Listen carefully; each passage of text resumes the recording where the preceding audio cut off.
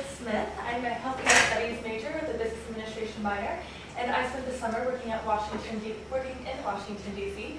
in the office of Congressman Jim Cooper. Well, first of all, I would like to do my acknowledgments first. And I, of course, would like to thank uh, Dr. Burhan and his family for the lovely support that they gave me. I would also like to thank Cassie and Heather Ashton uh, for all of their I emotional support and, things like that. Dr. Mays, my faculty member, and then my congressman, doc, uh, Dr.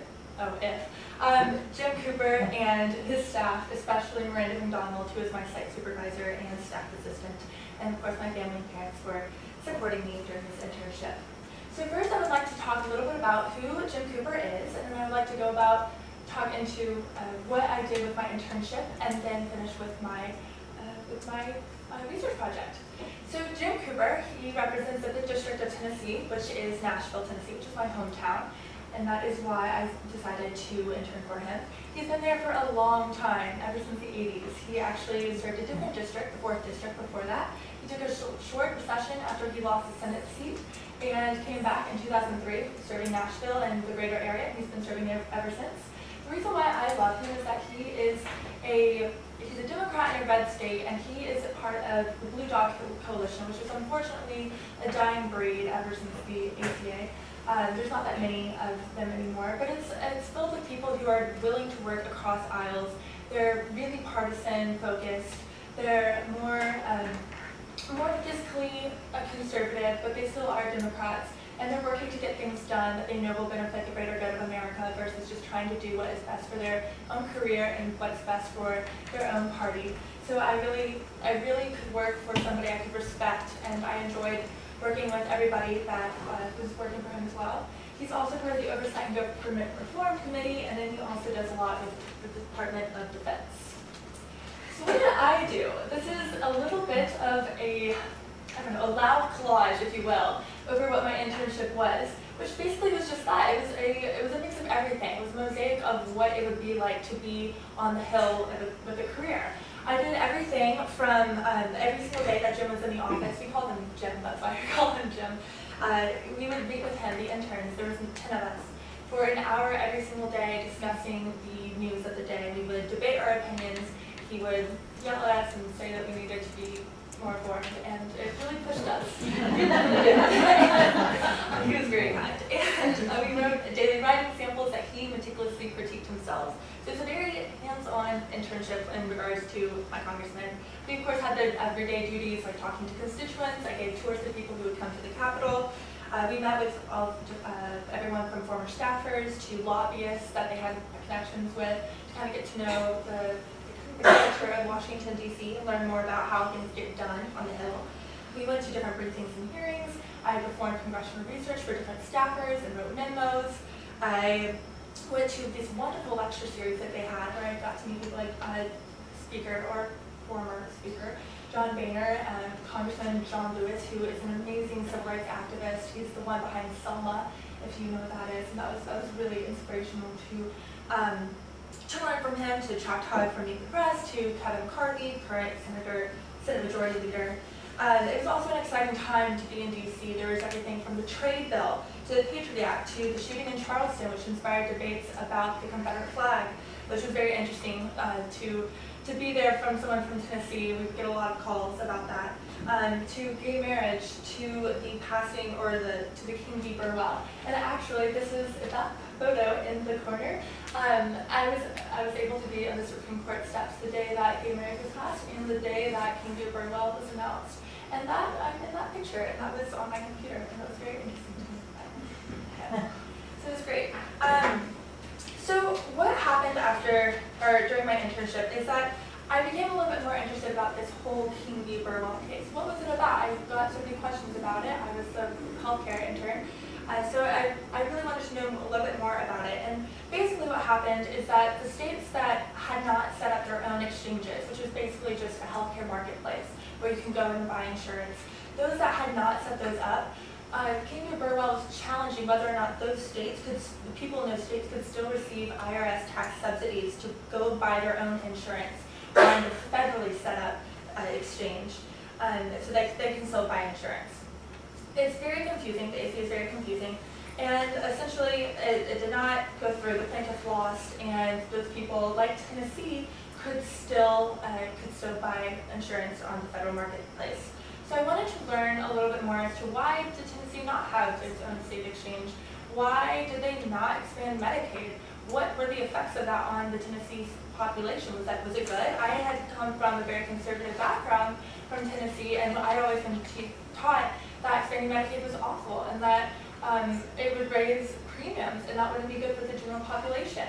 And so I wanted to know, was that true? Was that good, or is that something that I had just been taught to believe?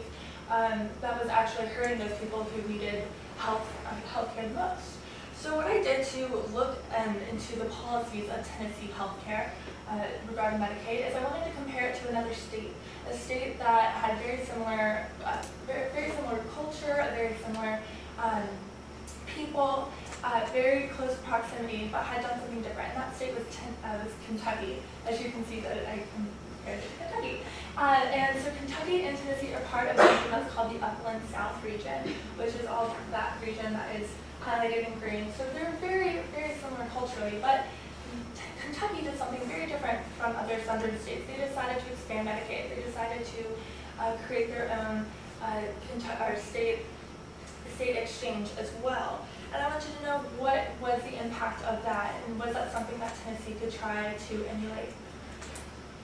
Um, so, and those are all the different states that have decided to pass Medicaid, not pass Medicaid, and you see most of the states that have not are in the South, and a lot of that is due to political beliefs. Uh, so this is a, um, this is a slide that's kind of showing how Kentucky and Tennessee are very similar in regards to healthcare. Um, the South is not is not doing too well. Poor, poor South. Um, we're, having some, we're having some issues over here. This is obesity rates. Uh, there's teen birth rates. You have smoking rates. Um, and you can see that the South is, is the worst um, of, of the other regions, unfortunately. And that's, that's really hard for me to say because I'm someone who adores the South. Um, Kentucky themselves, they were 50th in smoking. They were 49th in cardiac heart disease. They were 40th in obesity so they were, they were really struggling as well. It wasn't just Tennessee. But what did they do? So that is Governor um, Governor Beshear, I believe I'm pronouncing that correctly, and he stood up to what other uh, Southern legislatures were doing, and he said, no, we're gonna we're gonna expand Medicaid. This is what we're gonna do. And so he set up something called uh, kynect, um, which is the Kentucky version of the state exchange. And he argued that this would lead to economic growth, this would create jobs, um, this would lower the coverage gap, um, which is essentially the group of people who, after the ACA, were too poor to receive Medicaid, but were too are too rich to receive Medicaid, but too poor to receive those subsidies. And so that group of people, called the coverage gap, was supposed to be um, given ex that expanded Medicaid to, um, because the state was supposed to give more funding to Medicaid. Um, so he decided that he wanted to reduce that coverage gap. Um, and so he did, and uh, so he did that in 2013. And since then, the uninsured rate in Kentucky has reduced by 56%. That's 20.4% to 9% since 2013. And that compares to around 20% decrease in the other states that have not decided to expand Medicaid. It has also led to economic growth. It's created 12,000 healthcare related jobs. It has decreased unemployment significantly, and it has added $30 billion of a positive impact on Kentucky economy, both during uh, due to the legislation and uh, all the people involved in this. Um, and they also decided the reason, the main reason why they weren't going to do this is because not expanding would actually hurt the economy. Because all that money, all these taxpayers are still having to pay federal taxes. Uh, and instead of that money going back into Kentucky um, via the federal government giving them um, giving the money um, through this Medicaid match program. Instead, they would be paying all this taxpayer money and would go to the states that had expanded Medicaid, like New York or California, but not to its own citizens.